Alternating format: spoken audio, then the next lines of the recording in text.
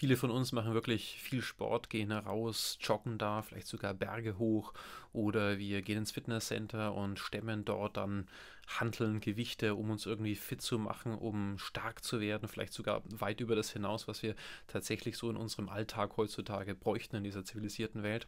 Gleichzeitig kontrollieren wir das, was wir essen, unseren Konsum. Wir versuchen vieles einzuschränken, zum Beispiel die Zufuhr von Zucker, von Fett oder von Genussmitteln wie Alkohol oder Tabak oder ähnlichem. In vielerlei Hinsicht sind viele von uns ganz schön asketisch geworden.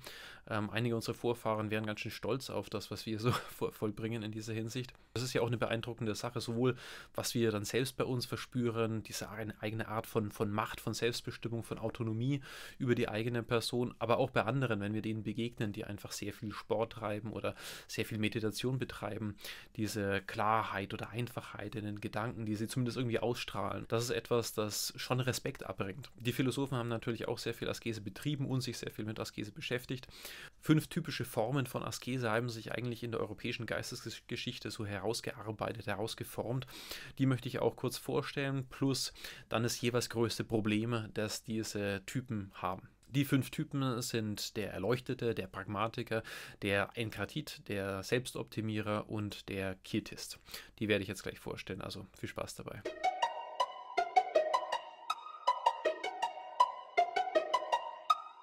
Was heißt eigentlich Askese? Gibt es da irgendwie eine verbindliche Definition oder ist das für jeden halt das, was er so meint, dass es bedeuten könnte? Eine Definition passt auf jeden Fall ganz gut, die auch mit dem Wort und der Begriffsgeschichte in der Philosophie ganz gut korrespondiert.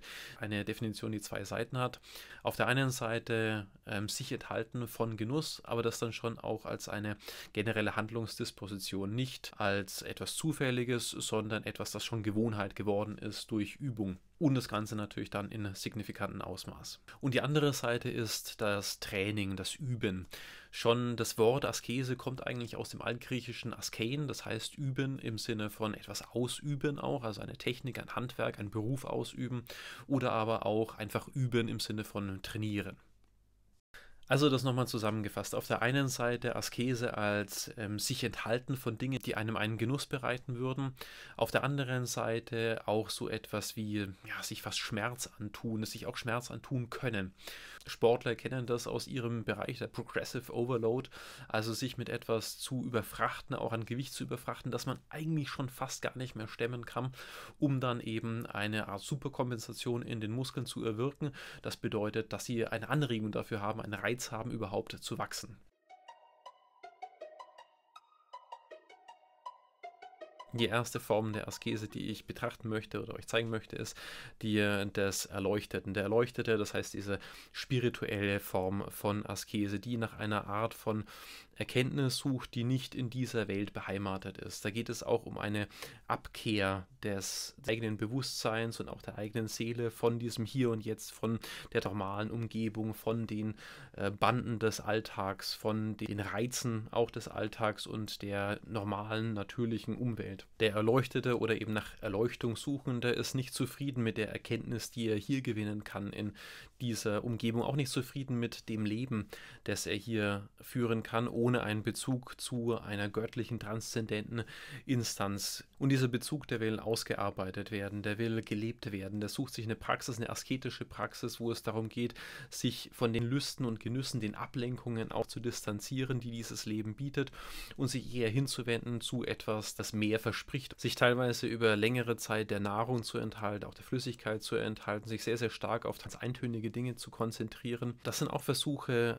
eine Art von Erkenntnis zu gewinnen, die diese Welt, dieses Leben offenbar nicht von sich aus einfach so zu bieten hat. Worauf bezieht sich die Erkenntnissuche des Erleuchteten oder des nach Erleuchtung Strebenden? Vor allem nicht auf Naturerkenntnis, so wie wir das kennen. Es ist auch eine Abkehr von solchen Beobachtungen der tatsächlichen Umgebung, der Regelhaftigkeit in der Natur oder den äh, instrumentellen Gebrauch von bestimmten Gegenständen. Es ist eine Art von Erkenntnis, die da gesucht wird, eine Hoffnung auch auf eine bestimmte Art von von Erkenntnis, die einen selbst nochmal komplett transformieren wird, im allerbesten Fall, die den eigenen Blick nochmal verwandeln wird, die das ganze Welterleben nochmal verwandeln wird Sie ist nicht nur ein Beweis dafür, dass man irgendwie dazugehört, dass äh, Gott einen auch gerne hat, dass man Teil ist einer transzendenten spirituellen äh, Sphäre und auch nicht nur ein Zeichen dafür, dass man besser ist als alle anderen. Das mag sicherlich bei vielen Leuten auch eine Rolle spielen, aber es ist auch die große Hoffnung eben darauf,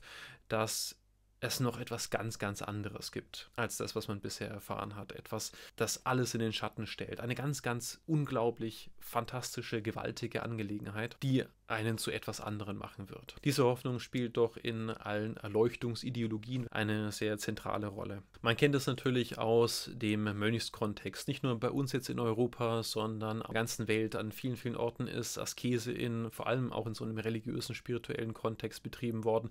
Nicht oft von den Massen, sondern hauptsächlich dann schon sehr elitär von einigen bestimmten Leuten, die sich eben solchen Orden anschließen, ihren Regeln anschließen oder solche Orden auch erst gründen, so wie Benedikt von Nursia das gemacht hat, der so die Mönchskultur in Europa etabliert hat. Und dort hält man sich da an bestimmte Speisegebote, man folgt diesen Riten, den Exerzitien, man fügt sich einer ja, kleinen Gemeinschaft und lebt auch sehr in, in Stille und in Abkehr von vielen Dingen, die einen irgendwie ablenken könnten. Und eine andere Form von Erkenntnis, auf die man da hofft, ist die einer Antwort. Nicht das man jetzt da direkt unbedingt ein paar Worte gesagt bekommt, aber es können natürlich Bilder, Visionen, es können äh, Epiphanien sein, es können Vorgeschmack auf das Göttliche, auf das Jenseitige sein, aber es kann eben auch sein, dass sich da so eine Art von ähm, Dialogverhältnis herausbildet, so wie Martin Buber sich das vorgestellt hat, dass da eine Art von Gespräch zwischen dem Göttlichen und dem Menschlichen stattfindet und dass erst das eigentlich wirklich dann Religion sei. Man kennt es in Europa von dem, vor allem vom Neuplatonismus, zum Beispiel bei Plotin. Ähm, auch da ist die Hoffnung auf die geistige und intellektuelle Rückkehr ja, zu der Ursprungssphäre, aus der man eigentlich kommt, zu der man eigentlich gehört, doch sehr groß. Man will wieder Anteil haben an, an der ursprünglichen Sphäre, aus der man quellend herausgekommen ist, die einen aber auch zerstreut hat in die Vielheit. Man will wieder zurück zu seiner Ureinheit. Man will zumindest so eine Art von Vorgeschmack auf ein Sein, von dem man meint, dass man es verloren hat und zu dem man dann auch wieder zurück möchte. Und etwas, das in äh, diesen Bereich der Askese des Erleuchteten oder nach Erleuchtungssuchenden eben auch hineingehört, ist sicherlich nicht nur eine Erkenntnissuche, sondern auch eine moralische Auf- und Abwertung, eine moralische Dichotomie zwischen einem sehr, sehr hohen Punkt, zu dem man auch mit Hilfe der Askese eben hingelangen möchte und eben ja der Normalität, die doch sehr, sehr stark abgewertet wird. Durch Paulus und andere kommt ja diese Opposition zwischen dem Geistigen und dem Sinnlichen in das Christentum hinein. Ähm, dort ist es dann eben Fleisch auf der einen Seite und Geist auf der anderen Seite oder dieser innere böse Adam und der innere gute Jesus Christus. Und zwischen diesen beiden Oppositionen gibt es natürlich eine große Spannung, die dann herrscht, wo man sich auf die eine Seite schlagen kann oder von der anderen Seite selbst geschlagen werden kann.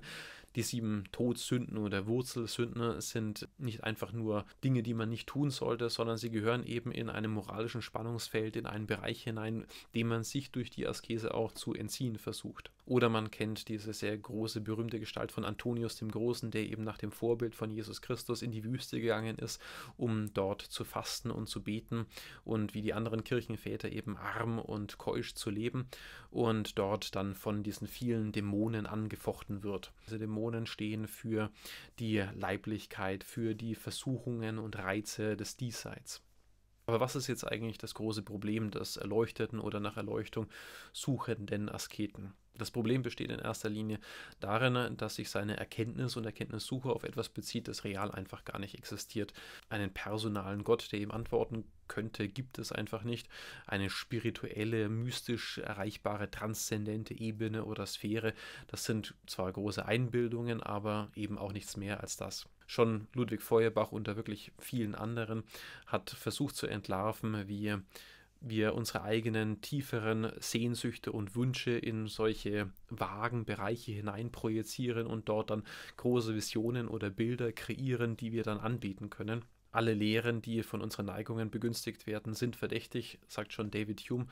Wir befinden uns dann in einem Gebiet, in dem es kaum Anstoß oder Anlass gibt, diese Visionen des erleuchteten Asketen irgendwie zu korrigieren. Im Unterschied zu den Wissenschaften oder auch einfach zu einem ganz normalen aufklärerischen oder aufgeklärten Common Sense Denken, wo es verschiedenste Möglichkeiten gibt, etwas zu überprüfen, zu kritisieren und in eine Art von Diskurs zu bringen, entzieht sich natürlich dieser Bereich ganz und gar jeglicher Diskussion. Das Erkenntnisfeld der Mystik, der erleuchteten Asketen ist immer eines, das kaum Methoden der Selbstkorrektur hat. Und man darf nicht vergessen, was für eine unglaubliche und große Errungenschaft es fürs Abendland war, ähm, aus einem Mittelalter herauszutreten, in dem alles für bare Münze genommen worden ist, was man sich so hat irgendwie einbilden können. Dort also Methoden der selbst- und Fremdkorrektur, des kritischen Umgangs mit den eigenen Gedanken, den eigenen Träumen, Bedürfnissen, Wünschen, Gefühlen zu entwickeln. Das ist eine Form von Askese, die in dieser Askese des Erleuchteten dann leider keinen Platz hat. Zudem spielt natürlich die Weltverneinung, die ich schon genannt und beschrieben habe, eine wichtige Rolle, auch für die persönliche Lebensentscheidung. Man wendet sich ab von dieser Welt, die einem alles bieten könnte, was man überhaupt im Leben erwarten kann, und hin zu einer Welt, die nicht wirklich real existiert. Aus diesem Grund hat Nietzsche schon recht richtig die Christen oft als die Prediger des Todes bezeichnet, weil sie eigentlich eine Abkehr von dem Hier und Jetzt, von diesem Leben in seiner Leidhaftigkeit, aber eben auch in seiner Reichhaltigkeit, in seiner Fülle propagieren. Und Arthur Schopenhauer mit seiner Askese der Weltverneinung, der Abkehr von dem Willen zugunsten eines Einblicks in das wahre Wesen, in die primären Objektivationen des Willens, auch eine säkularisierte Form des Christentums geschaffen, die einen ganz guten Eindruck davon vermittelt, was Askese eben auch ausmacht.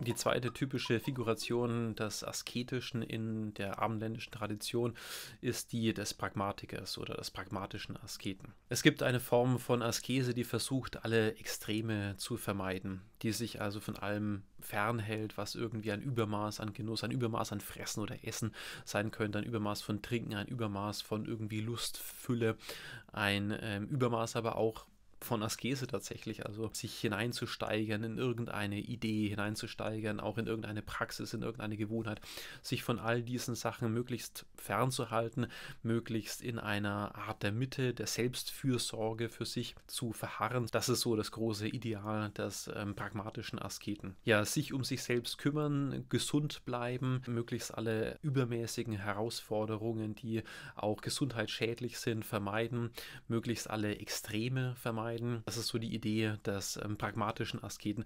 Man kann zwar so jemanden vorwerfen, dass das keine wirklich harte Askese ist, aber es hat auch seine Schwierigkeiten durch dieses Maß halten. Man versucht zum Beispiel gewisse Genüsse durchaus zuzulassen, aber halt unter dem Vorbehalt, dass sie nicht Eigendynamik entwickeln sollen, dass sie nicht zu einer schlechten Gewohnheit werden sollen. Und das ist durchaus gar nicht so einfach.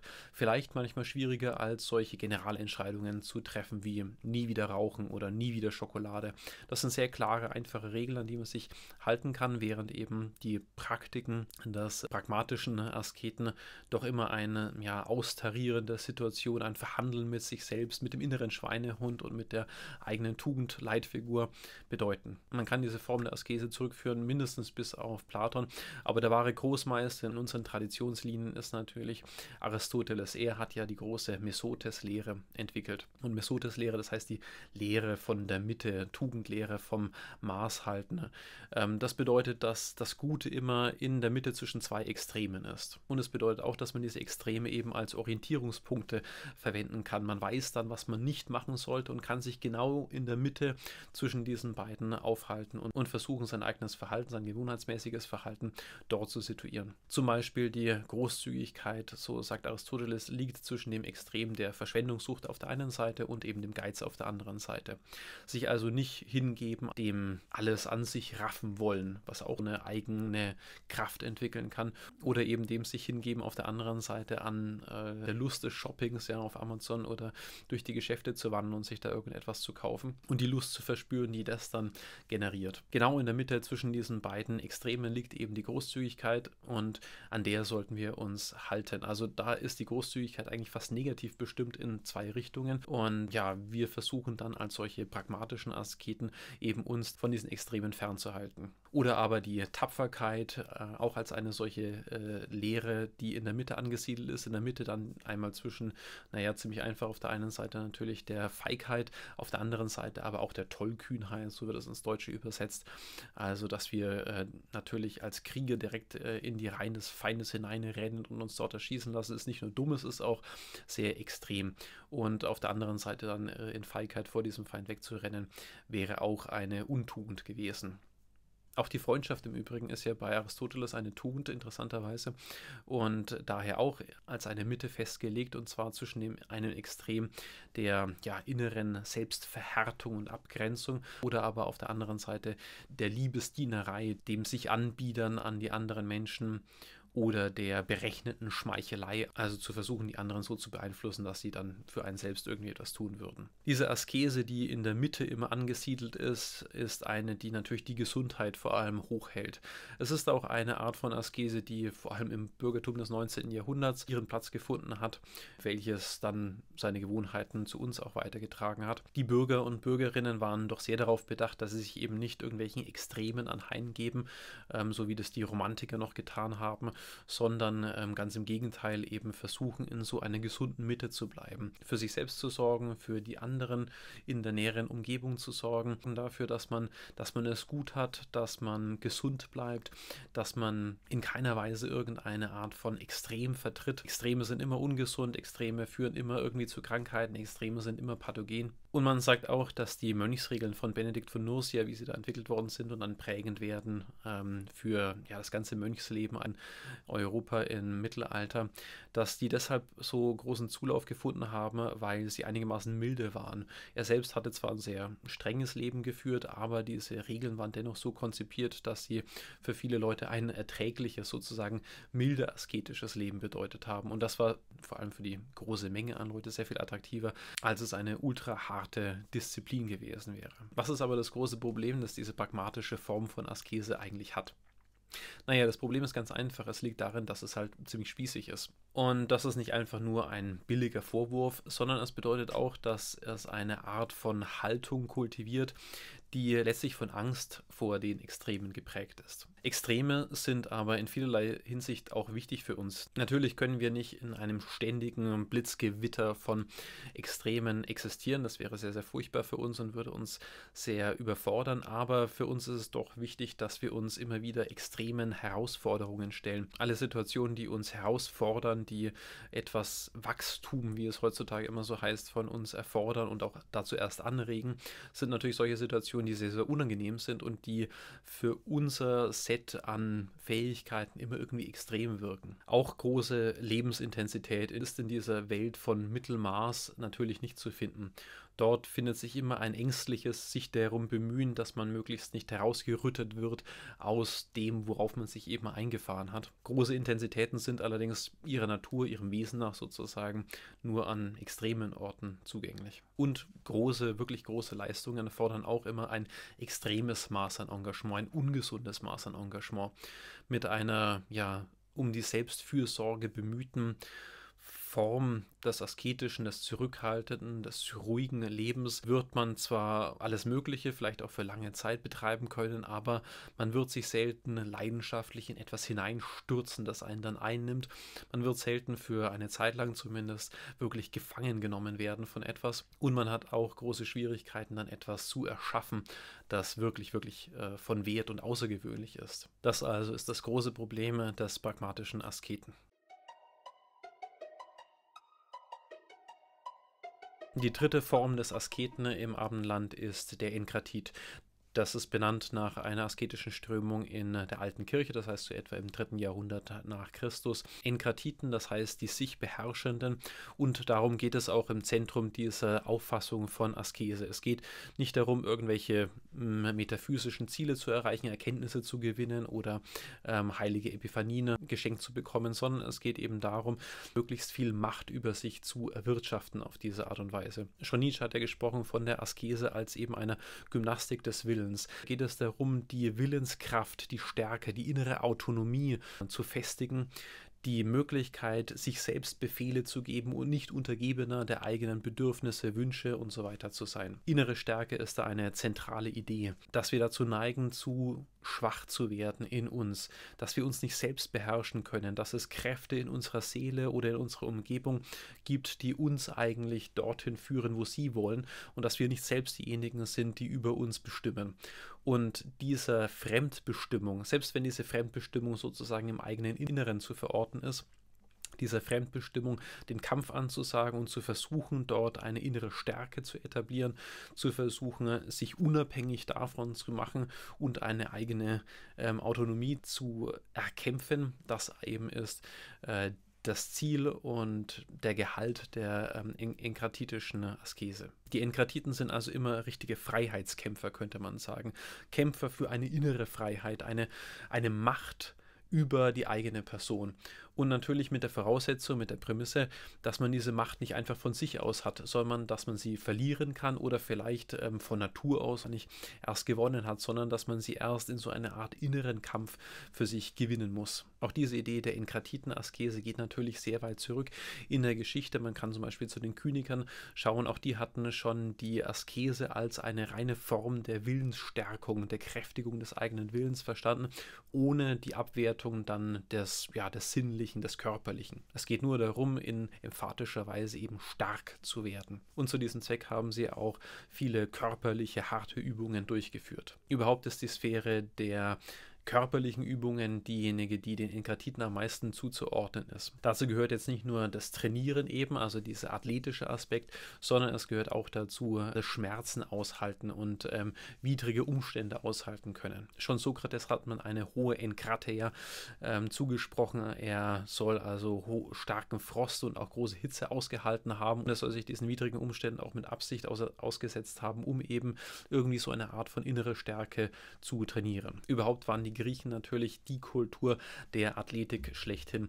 Allein schon das Gymnasium, das dann später zu dieser humanistischen Bildungsstätte wurde, war ja früh eigentlich der Ort, wo die adligen Griechen am Vormittag hingegangen sind, um dann dort ihre Übungen, ihr Training zu absolvieren. Und das war ein Athletiktraining, das nicht unbedingt darauf ausgerichtet war, dann im Kampf zu bestehen, sondern eher in den Wettkämpfen untereinander besser zu sein als die anderen, ähm, Anerkennung von den anderen zu bekommen. Eher war es so, dass dann bei spirituellen oder religiösen Festivitäten, wo dann viele Griechen zusammengekommen sind, auch noch zusätzlich diese Spiele ähm, gemacht worden sind, die dann eigentlich als eine Art Huldigung für die Götter dienen sollten, wie eben zum Beispiel bei diesen Olympischen Spielen, die wir heute dann in anderer Form auch noch haben. Und so sehr, sehr starke, extreme Formen von äh, inkratitischer Askese findet man überall auf dem Globus. Man kann da zum Beispiel denken an äh, verschiedene hinduistische Traditionen von ähm, Asketen, die äh, in die Wüste hinaus rausgehen, sich einfach der prallen Sonne aussetzen und dann Feuer um sich herum anmachen, um einfach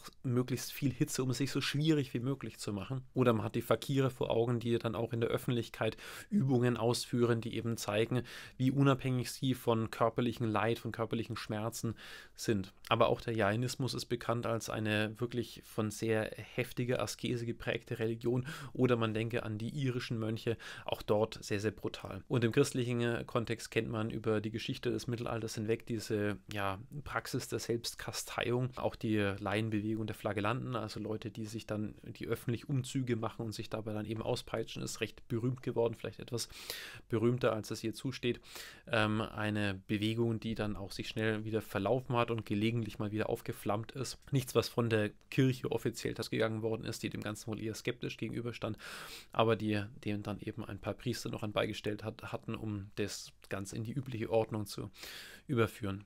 Ja, aber es ist eine Sache, die bis zum heutigen Tage eigentlich anhält. Zum Beispiel, wenn man in diese Lebenskunstbücher von Wilhelm Schmid schaut, die ja recht populär sind, auch dort wird die Askese als ein reines Training des eigenen Willens durchaus stark gemacht. Was aber ist denn das große Problem des inkratiten Asketen? Diese Form der Askese, die die eigene Willenskraft ins Zentrum stellt, hat als eine, eine Methode und als ein Zeichen ihres Erfolges immer das Leiden. Wer viel Leid ertragen kann, der ist offensichtlich stark. Dummerweise kann dieses Leiden eben eine Eigendynamik entwickeln und statt ein Zeichen und einer Methode wird sie dann stellvertretend für die Sache selbst, das heißt für die Willensstärke, die man damit erringen wollte. Man wird dann sozusagen masochistisch, man bekommt die Lust an dem eigenen Leiden als stellvertretend für die Lust an der eigenen Stärke zu spüren und statt dass man dann immer stärker wird, wie es eigentlich scheint, wird man eigentlich immer schwächer, weil man ein Opfer dieses Fetisches geworden ist. Klingt ziemlich verrückt, aber die menschliche Psyche ist eben so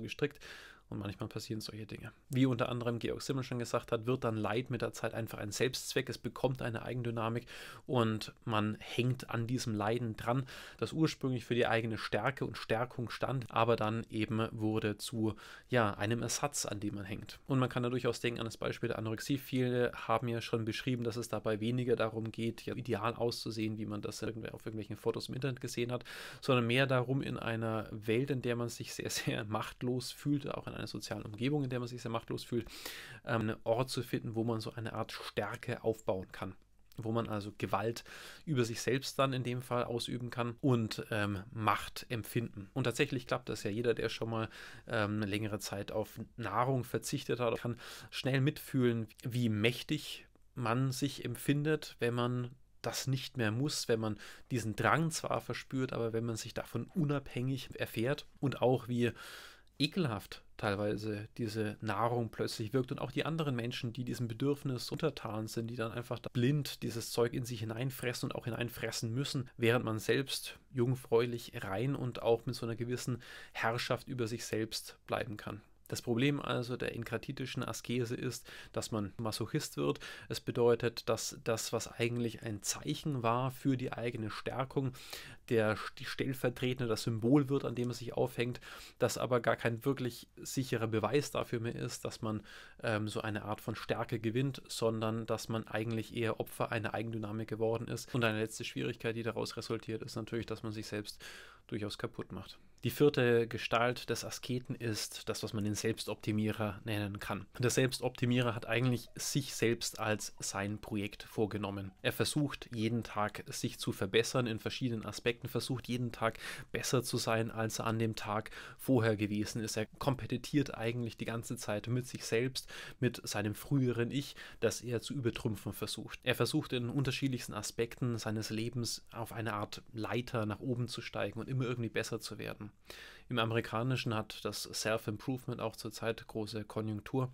Das beinhaltet, dass man mit sich selbst in eine Art Konkurrenzverhältnis tritt, dass man versucht, das meiste aus sich herauszuholen. Die Selbstoptimierung ist daher auch ein etwas fehlleitendes Wort weil es suggeriert, dass man da so versucht, einen perfekten Endzustand zu erreichen. Aber der Kern der Selbstoptimierung, des Self-Improvement besteht gerade darin, dass man eben so einen Endzustand gar nicht erreichen kann oder möchte, sondern dass man sich in so einer ständigen Tretmühle oder so einem ständigen Kreis eigentlich gegen sich selbst befindet. Die Annahme auch von so einer Art Lebensfähigkeit insgesamt, die sich zwar in unterschiedliche Bereiche aufteilt, die aber dennoch so eine Art von Coaching-Mentalität beinhaltet. Ich bin besser als du im Leben insgesamt und ich bringe jetzt den Leuten bei, wie das alles geht, wie man mit anderen Menschen spricht, wie man im Job erfolgreich ist, wie man mehr Geld macht, wie man seine Familie organisiert. Und Max Weber hat das ja schon ganz gut beschrieben als der Geist des Kapitalismus, der wohl aus dem Calvinismus hervorgeht. Das ist so eine Art ja verquere Prädestinationslehre, die eigentlich darin bestand, dass Gott ja schon entschieden hat, wer alles in das Himmelreich kommen wird, 144.000 an der Zahl,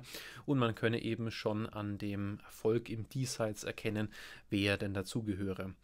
Und äh, statt dass das dazu geführt hat, dass die Leute halt dann in Resignation aufgehen, haben die Anhänger dieser Religion eher das als einen Ansporn betrachtet, um eben im Diesseits schon zu, schon zu beweisen, dass sie die Günstlinge Gottes sind. Das hat zu einer ja sehr strengen Selbstdisziplinierung geführt, zu sehr, sehr viel Arbeit, sehr viel Fleiß, sehr viel ähm, ja, hoch Schätzung der Arbeit insgesamt zu einer anderen Betrachtung von Zeit als etwas, das zu nutzen sei, aus dem etwas zu machen sei, etwas, das natürlich auch durch seine Begrenztheit beängstigt und dann eine, ja, eine große Hochschätzung auch des rationalen, der, des instrumentellen Vorgehens, des ähm, Bearbeiten und Beackern der Welt, um eben die eigenen Ziele zu verwirklichen. Die Welt, das heißt das Diesseits in dem Kontext, dann als einen Ort der Bewährung zu sehen, wo man immer besser werden kann. Alles ist eine Art von Herausforderung die einem die Chance gibt, in gewissen Bereichen sich zu verbessern, sich zu optimieren. Ja, jeder, der schon mal Projekte in der Arbeit verwirklicht hat, der weiß, dass für die Verbesserung Kennzahlen notwendig sind.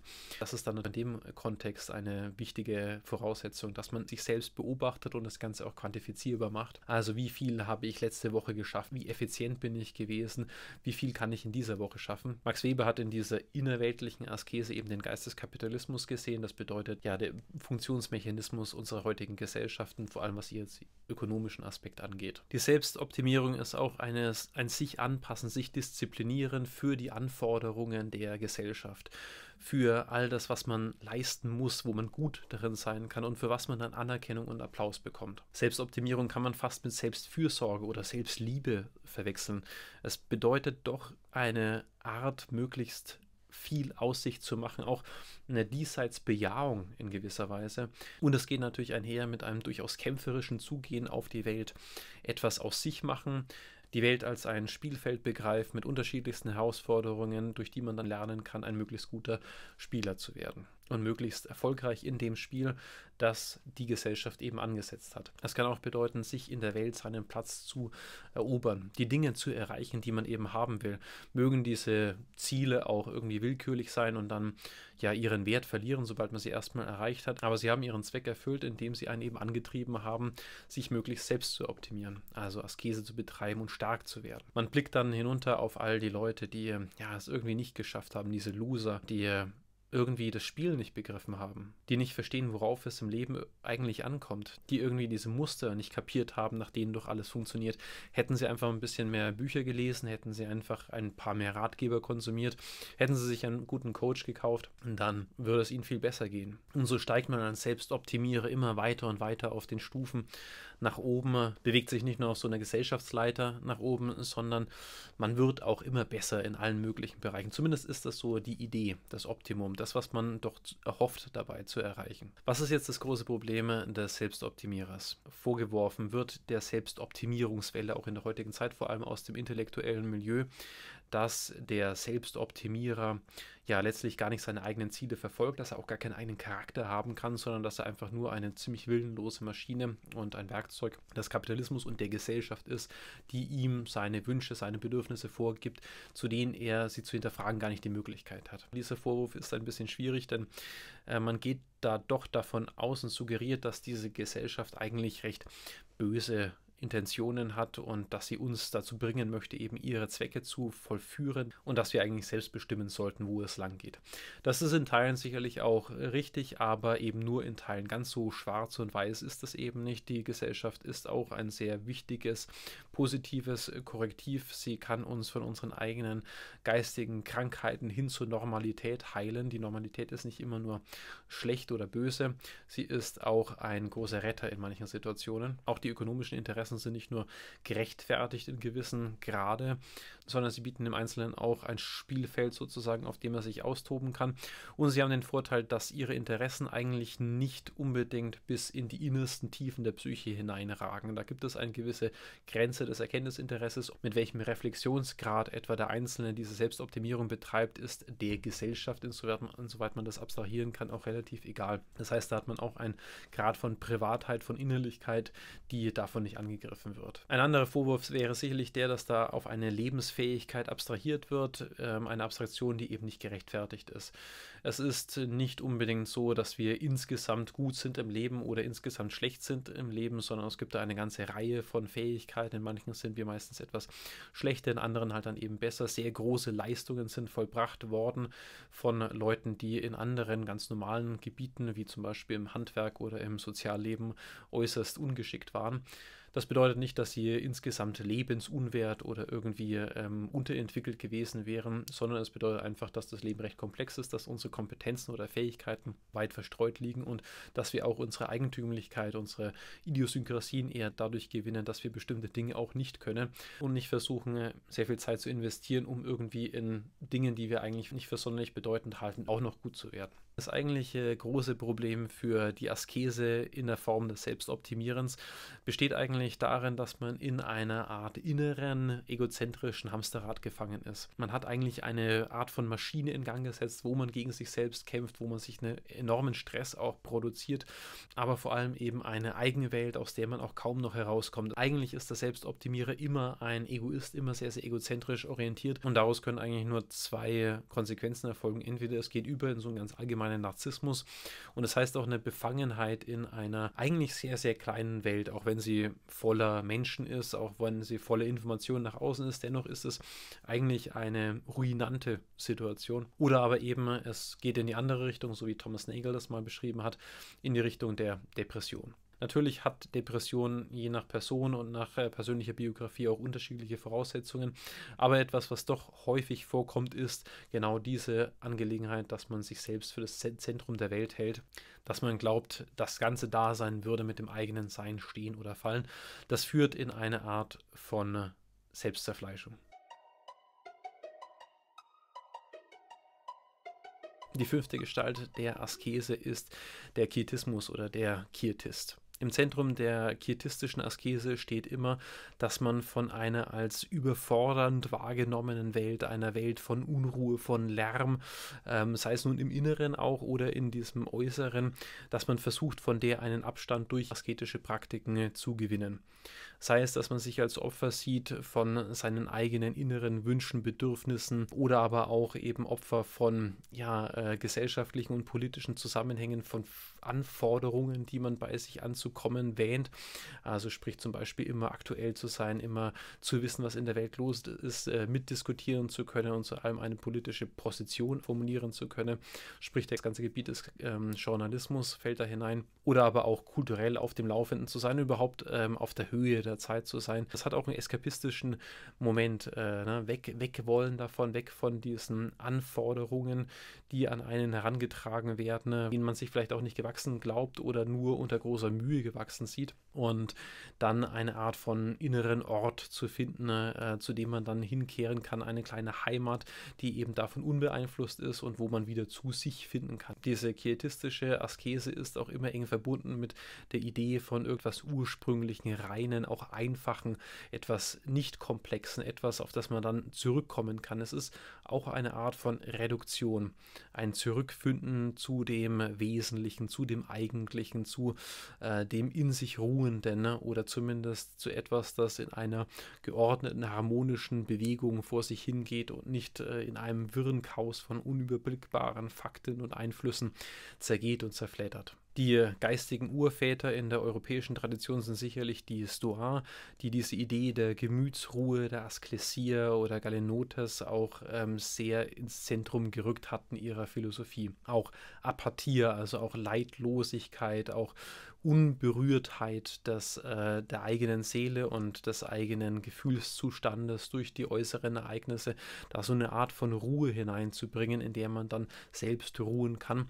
Das ist eine ihrer Grundideen und auch etwas, das eben durch asketische Praktiken erst zu erzeugen, erst anzutrainieren ist. Wer noch mehr zu dem Thema Gelassenheit erfahren möchte, dazu habe ich auch schon mal ein Video gemacht, das könnt ihr euch gerne ansehen denke, hier oben wird es dann sein, dann könnt, kann ich euch das verlinken. Da geht es dann um die verschiedenen Positionen zu dem Thema Gelassenheit in der ja, abendländischen Tradition. Man kann aber auch denken an äh, die Hesychasten in der orthodoxen Kirche, die auch nach so einem inneren Frieden gesucht haben und dafür auch schon so spirituelle, meditative, asketische Praktiken benutzt haben, Konzentration auf den Atem und so weiter, um eben so eine Art von Friede oder Ruhe ähm, zu finden. Oder man denke in dem arabischen Raum an die Sophisten, ähm, das ist so 8. bis 9. nachchristliches Jahrhundert. Dort ähm, wird eine pietistisch-asketisch interessante Position vertreten, nämlich dass man nicht, wie jetzt bisher in der Askese üblich, man versucht einfach gegen dieses Begehren, das in einem ist, anzukämpfen, sondern man versucht, ähm, dieses Begehren insgesamt auszulöschen, sodass es gar nicht mehr da ist. Also bei den Sophisten geht es darum, weder das Diesseits irgendwie zu begehren oder etwas darin, noch aber auch das Jenseits.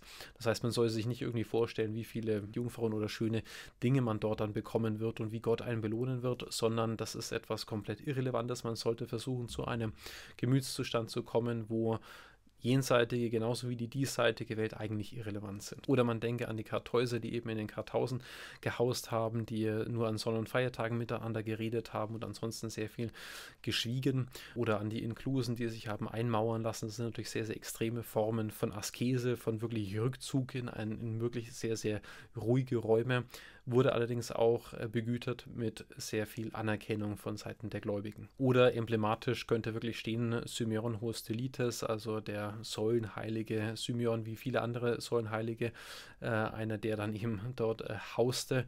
Und äh, dennoch äh, dem Fluch unterlegen ist, dass dann viele zu ihm kamen, viele Gläubige, die ihn um Rat fragen wollten, die erhofft hatten, dass er dann irgendwelche Weisheiten von sich gibt und so. War er da gewissermaßen auch etwas gefangen auf seiner äh, Daher also wirklich eine ganz gute Symbolfigur für diese Form von kietistischer Askese. Aber auch viele Reformbewegungen in der katholischen Kirche hatten dieses Zurückgehen zu einem ursprünglichen, zu einer Einfachheit ähm, zum Ziel, also wie die Cluniazienser oder die Zisterzienser, die wähnten, dass die katholische Kirche zu komplex geworden wäre, vor allem durch ihre Verbindung einfach mit der weltlichen Macht. Und in der Neuzeit haben wir dann noch Arthur Schopenhauer als einen ähm, Asketen, einen kietistischen Asketen. Sicherlich nicht in der Praxis als Mensch jetzt, aber in seiner Theorie durchaus. Und dort ist die Negation des Willens tatsächlich die entscheidende Voraussetzung, um Schönheit wahrzunehmen. Ästhetische Kontemplation ist immer eine Verneinung des Lebenwollens selbst. Was aber ist das große Problem an der kietistischen Askese? Dieser Zug des Eskapistischen, den ich schon genannt hatte, der spielt da auf jeden Fall eine große Rolle. Eigentlich wird damit ein, eine innere Seelenhaltung sozusagen sedimentiert oder zementiert, die von Angst und Erschöpfung geprägt ist.